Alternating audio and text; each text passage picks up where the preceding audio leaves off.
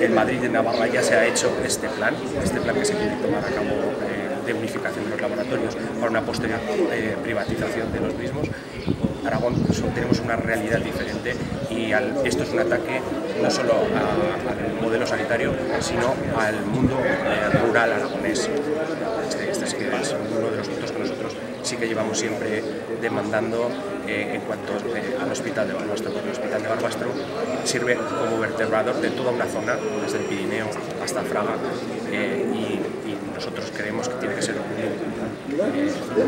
hospital con medios suficientes para atender a.